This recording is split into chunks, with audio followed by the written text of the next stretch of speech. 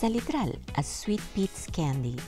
Hi amigos, I am at Sweet Pete's Candy, located at 400 North Hogan Street in Jacksonville, Florida. Sweet Pete's is the largest candy store in the Southeast. It manufactures handcraft quality chocolates and sells over a thousand different types of candies.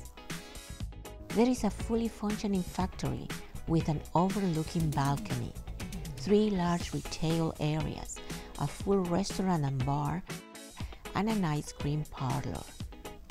Sweet Pete's also features an event center that offers a space for children field trips, cater events, classes, and birthday parties. It is decorated according to the season.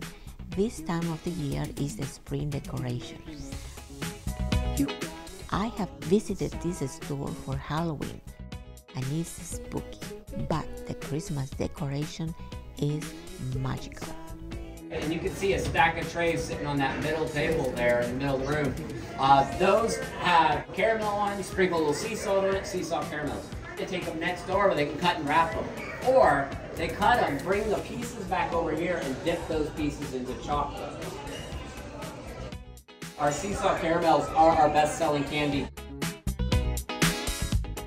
If you didn't get a sample the where you checked in, make sure you grab one on your way out. We do offer samples of those caramels. The problem with caramel though is it takes a lot of stirring to make it. This place is a bucket list destination if you are in Jacksonville. It is a fun stop for kids and adults. I enjoy visiting these stores. I always have a sweet time. Well, amigos, that's all for today. Bye bye.